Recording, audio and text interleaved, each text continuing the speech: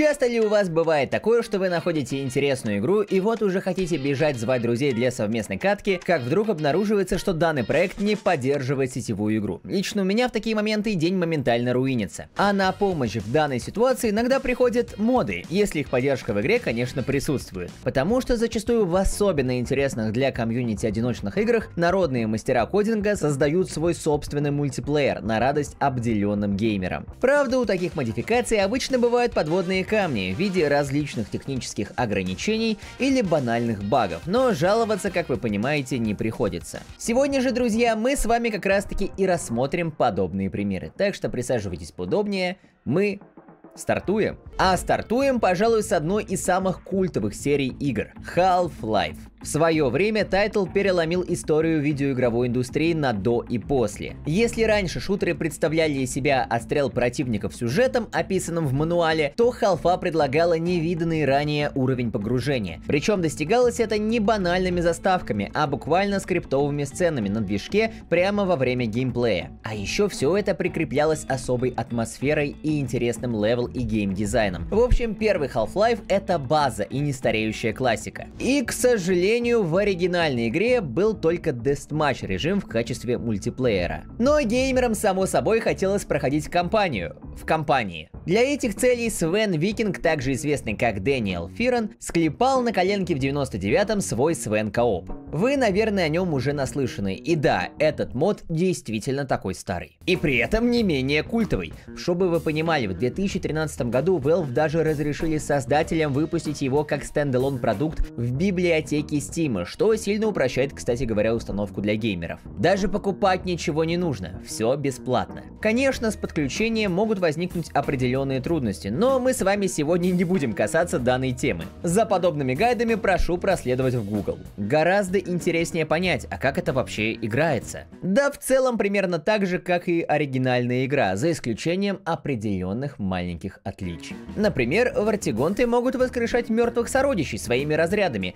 а некоторые враги теперь умеют атаковать на ходу. Еще добавили чуть больше кооперативных взаимодействий. Таким образом, если игрока сцапал Барнакл, то освободить его может только союзник. Ну и в остальном где-то подправили баги, где-то немного изменили баланс, в целом ничего особенного. А вот по-настоящему уникальным данный мод делают возможность запускать специальные мультиплеерные карты, разработанные конкретно под него. По сути, вся популярность модификаций именно на этом и строится. И этих самых карт в интернетах как какое-то просто нереальное количество.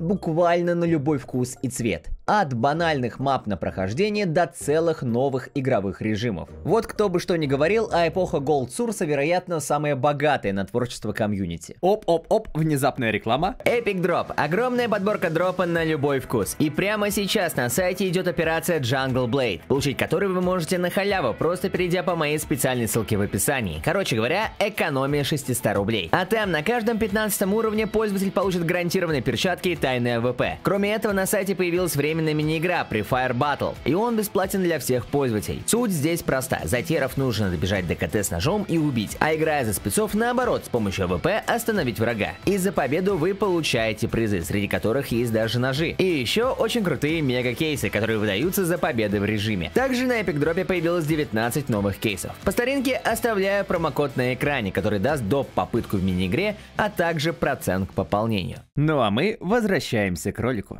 Тенденция на подобные модификации не обошла стороной и жанр RPG. Взять вот, например, тот же Skyrim. В него играли, наверное, вообще все, у кого есть на чем. Помню, как в начале десятых весь YouTube был завален контентом по данной игре. Да чего уж там говорить, ролики по Skyrim до сих пор снимают, а значит комьюнити игру очень любит. Даже несмотря на всякие мемы про Тода Говарда, пытающегося продать title на всем, что имеет процессор. И знаете, оно не удивительно. Skyrim это настоящий феномен индустрии серия TES и раньше привлекала к себе много внимания, но пятая часть вывела этот показатель на совершенно иной уровень. Большой, открытый мир с кучей квестов и разных активностей, интересные персонажи и эпичный сюжет. Все это позволило увековечить пятые свитки в сердцах геймеров. Если же говорить о модах, то это вообще отдельная история. Skyrim постоянно занимает призовые места во всяких там топах самых модифицируемых игр. В общем, включая моды и ванильную версию игры,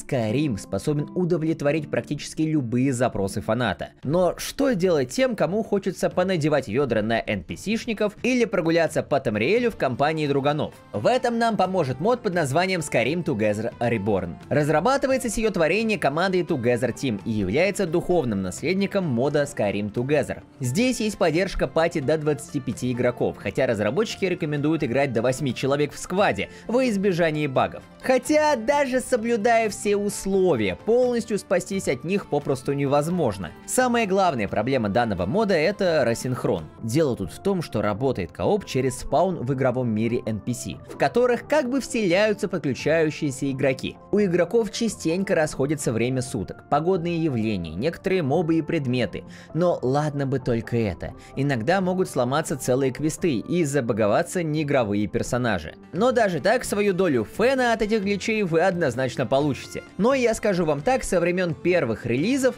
мод, конечно, значительно пофиксили. Раньше было еще хуже. Так что того гляди, когда-нибудь доведут до ума все-таки эту модификацию. И да, ребята, раз уж мы заговорили об играх беседки, то было бы неправильно не упомянуть еще одну. Я говорю про Fallout 4. Он отхватил на момент релиза свою порцию критики за слабую ролевую систему, напрочь заруиненную механику диалогового окна, посредственный сюжет и завязку и множество других своих косяков. Но не обратить внимание на плюсы было бы тоже неправильно. Все-таки четверка обладает неплохой боевкой, красивым и интересным миром, а иногда выдает более-менее хорошие квесты. Да и в целом следует правилу 40 секунд. Неудивительно, что у Квадриквела до сих пор есть куча фанатов, ценящих и любящих похождения родителя в поисках блудного сына на просторах пустоши. А заговорил я именно о четвертой части не просто так. Для нашей сегодняшней темы он подходит идеально, потому что его кооперативный мод разрабатывают те же люди, что делают Skyrim Together. Вернее, разрабатывали. В прошлом году команда пояснила ютуберу под ником Апокси, что проект можно считать заброшенным. Во-первых, потому что все силы были брошены в допиливание коопа в Скайриме, а во-вторых, потому что ни у кого из команды сейчас уже нет столько свободного времени, как раньше. Да и работа над такими модами требует очень продвинутых навыков в кодинге и сотни часов кропотливого труда. Чего за бесплатно никто, конечно, предоставлять не хочет. Выходом из ситуации могла бы стать поддержка комьюнити, но, похоже, это не помогло.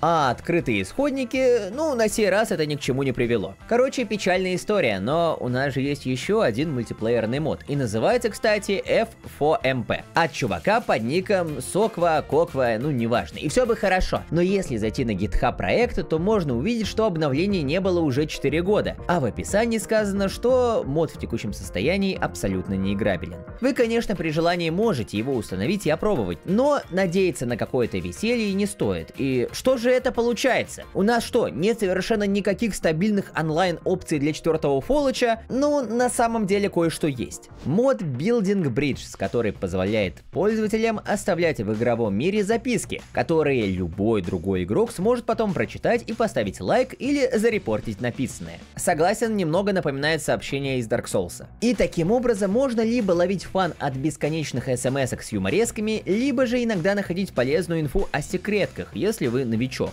Я понимаю, что вы, наверное, хотели большего, но довольствуемся этим. Что будет, если смешать вместе открытый мир, мощные взрывы, куча пушек, транспорт, крюкошку и вингсьют? Правильно, Skyrim с модами, ой, точнее Just Cause. Как понятно из вышеописанного, объяснять, почему многим людям вообще нравится данная франшиза, не нужно. Это буквально концентрированное веселье на манер какого-нибудь там Майкла Бэя, ну и, конечно, неплохая песочница. И очевидно, что многим игрокам захочется устроить дестрой вместе с братишками в таких-то условиях. Для этого в рамках второй и третьей части серии существует два мультиплеерных мода, по штуке на каждую, и тут можно позволить себе немножко обобщить. Как минимум потому, что там и там все примерно одинаково. Так вот, оба мода представляют из себя внезапно онлайн-песочницу в открытом мире. Вы открываете спаун-меню, создаете себе какой-нибудь вертолет или истребитель и начинаете лютый замес с игроками. Ну или второй вариант, собираете пати кентов, чтобы придумывать себе развлечения по типу «А чё будет, если я попробую притянуться к самолету крюком?» или «А если я сейчас выпрыгну из своей тачки, я смогу на лету сесть в твою?» Ну, вы поняли. Тут происходит беспощадная эксплуатация особенностей игры в свободном стиле, хотя во время бета-тестирования мода для Just Cause 2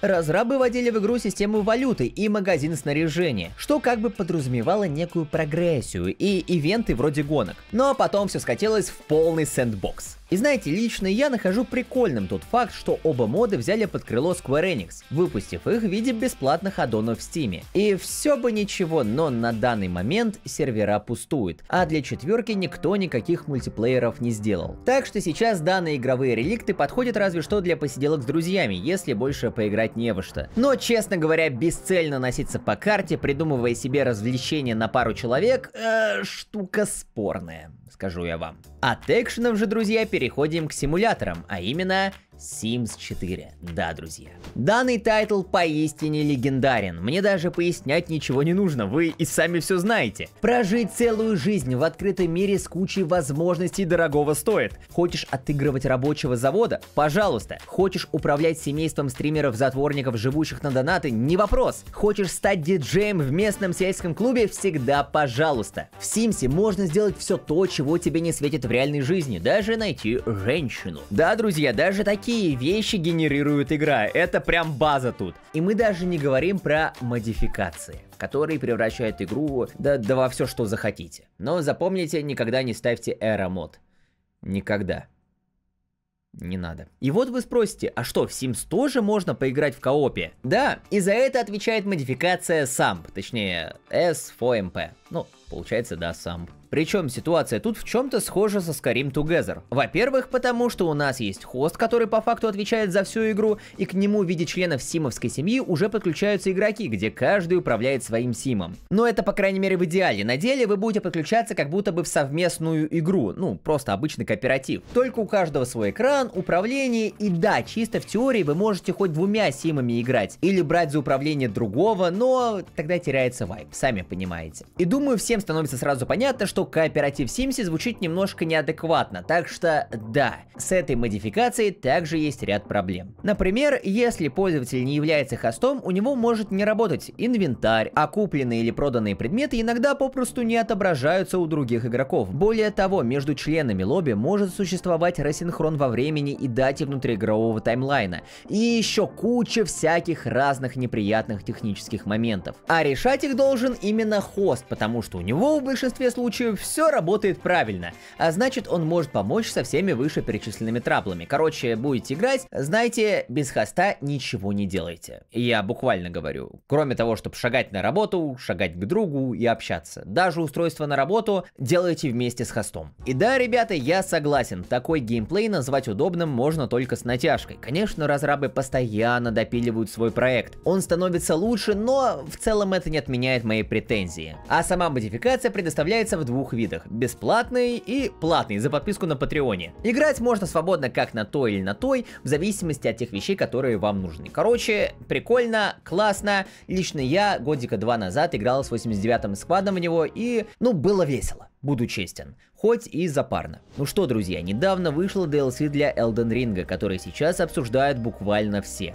Хотя даже до его релиза игра была одной из самых продаваемых длительное время после выхода. Пусть некоторые игроки и критиковали очередной Souls-like от Фромов на релизе, но многим он понравился. Введение открытого мира в отработанную геймплейную схему было глотком свежего воздуха для любителей творчества Миядзаки. И вот вы разумно заметите, а чё, в Elden Ring же есть и кооп, и мультиплеер, зачем про нее рассказывать? Так-то ну так, но вы же знаете, как Миядзаки подходит к вопросу онлайна в своих играх. Геймдизайнер твердо убежден, что ничто не должно мешать лору, даже сетевая игра. А потому для подключения хавайте всякие там мелки. Причем побегать дадут только в строго отведенных для этого локациях, границы которых будут перекрыты, а при победе над боссом или смерти извольте разлогиниться и отправиться в свой мир. Хотите поиграть еще? Ну что ж, пусть хост пройдет до следующей доступной локации и потратит нужный предмет.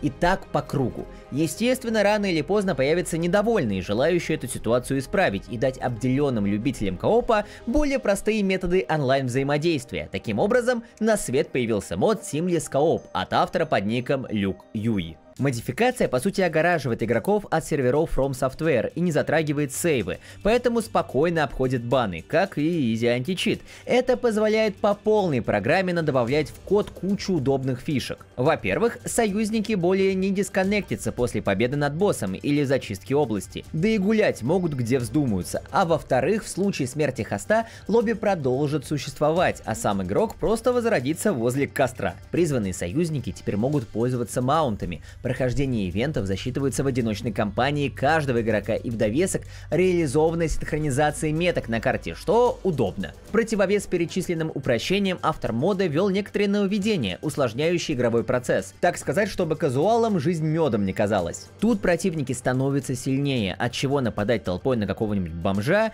э, такое себе решение, скажем так. С каждой смертью на персонажей накладывается эффект гниения, а если кто-то потух во время босс-файта, погибший игрок отправляется в режим наблюдателя до окончания схватки. И это на самом деле звучит очень круто, буду честен. Что же касается минусов, ну хотелось бы отметить, что данный проект еще очень молодой, и скорее всего вы нарветесь на тонны багов. Но мне кажется, если дать моду время, то все поправит, так что лайк. Ох, ну на этом все, дорогие друзья. Вот такая вот подборочка кооперативных модификаций у нас сегодня получилась. И надеюсь, это была не просто пустая информация, которая влетела вам в одно ухо и вылетела в другое. Надеюсь, я вам помог определиться с тем, во что вы в ближайшее время поиграете со своими друзьями. Пусть некоторые моды пока что сыроваты, сама возможность побродить по горам Скарима или замкам Элдона в коопе дорогого стоит, особенно учитывая факт, что некоторые такие модификации, пусть и немного, но меняют привычный сингл experience. А у меня же на этом все, дорогие друзья. Играйте в хорошие игры, а я поиграю в плохие. Удачи! Пока!